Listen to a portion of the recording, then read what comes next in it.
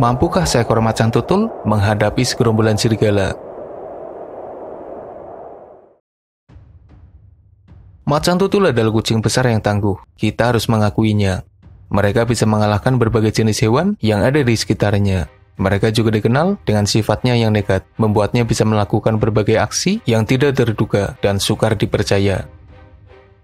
Di habitatnya, macan tutul bisa mengalahkan hyena, mencuri makanan anjing liar, memangsa anak singa, menurunkan level cita, menerkam buaya, memangsa elang, dan berbagai aksi lain yang luar biasa. Tapi bagaimana jika macan tutul harus menghadapi segerombolan serigala? Apakah kucing besar itu bisa menghadapinya? Sebagai pengingat, macan tutul tersebar di wilayah Afrika dan Asia. Sementara serigala, khususnya serigala buah-bu, tersebar di bumi utara, dari wilayah Amerika Utara, Eropa, bahkan hingga Asia. Seharusnya ada potensi pertemuan antara macan tutul dan serigala, khususnya di wilayah Asia. Tapi hingga saat ini belum ada bukti yang jelas yang menunjukkan interaksi mereka. Nah, dalam video ini kita akan membandingkan kemampuan keduanya, sehingga kita bisa tahu apakah macan tutul mampu mengalahkan serombongan serigala, atau malah serigala yang bisa dengan mudah mengalahkan macan tutul. Seekor macan tutul bisa mengalahkan berbagai hewan yang ukurannya bahkan jauh lebih besar darinya. Bukan hanya hewan yang biasa jadi mangsa, tapi bahkan beberapa pesaing juga bisa dikalahkan oleh kucing besar ini.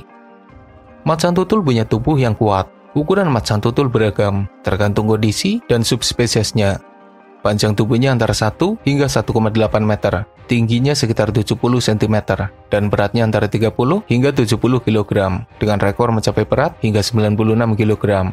Dengan ukuran itu, macan tutul sebenarnya lebih unggul dari serigala buabu. Pasalnya serigala buabu punya tubuh dengan panjang antara 1 hingga 1,6 meter, tingginya sekitar 80 cm, dan beratnya sekitar 40 kg, dengan rekor mencapai 80 kg.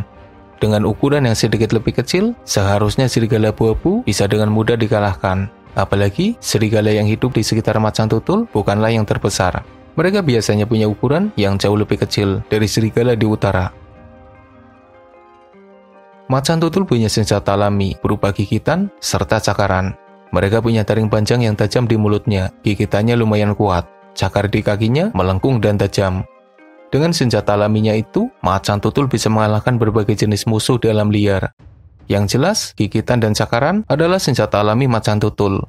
Dengan senjata alaminya itu, macan tutul seharusnya bisa mengalahkan serigala. Pasalnya, serigala adalah jenis anjing, di mana senjata alami mereka adalah gigitan. Mulutnya yang dipenuhi taring tajam bisa dibilang jadi satu-satunya senjata mereka, karena kakinya jarang digunakan untuk melakukan serangan.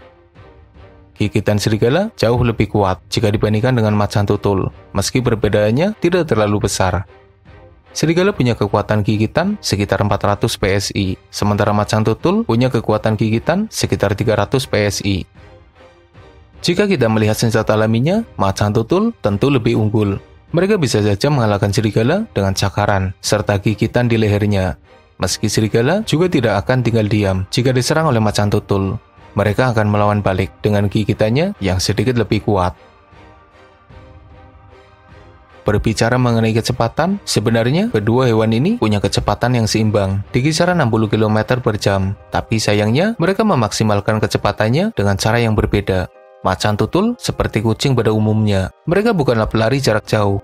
Macan tutul biasanya menggebir kecepatannya dalam jarak dekat dan dalam waktu yang singkat. Jarang sekali kucing besar ini berlari dalam jarak jauh. Stamina mereka tidak terlalu kuat jika dipaksa terus berlari. Sementara serigala, mereka adalah pelari jarak jauh.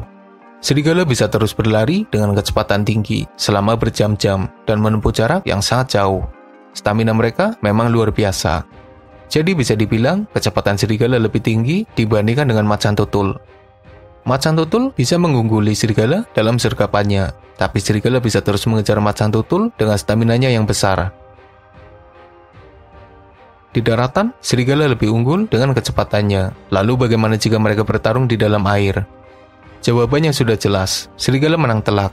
Macan tutul bukanlah perenang yang hebat. Mereka sendiri jarang sekali memasuki air. Berbeda dengan kerabatnya di Amerika Selatan, macan tutul tidak memburu mangsa di dalam air. Mereka bahkan seperti menghindari perairan. Tentu bukan tandingan serigala yang punya kemampuan berenang sangat baik. Serigala terbiasa hidup di wilayah dingin. Mereka juga terbiasa menyeberangi perairan. Berburu ikan di dalam air bukanlah sesuatu yang sulit bagi para serigala. Serigala bisa menghandlenya dengan mudah. Di daratan dan di dalam air, macan tutul bisa dibilang kalah. Tapi mereka punya kelebihan saat ada di pepohonan. Kucing besar ini jadi salah satu kucing dengan kemampuan memanjat yang paling hebat.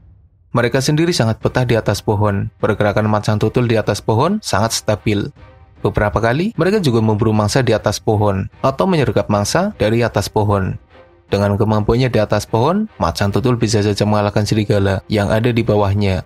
Atau andai macan tutul terpocok oleh serigala, setidaknya mereka bisa gabur ke atas pohon.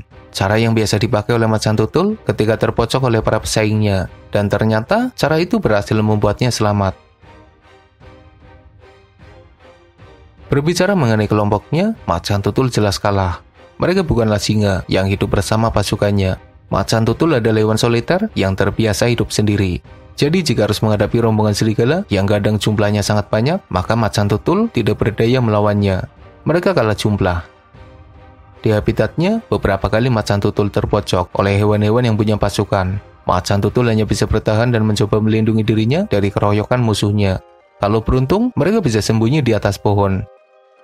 Yang jelas, jika menghadapi lawan yang bersama pasukannya, macan tutul pasti kerepotan, meski lawannya lebih kecil sekalipun.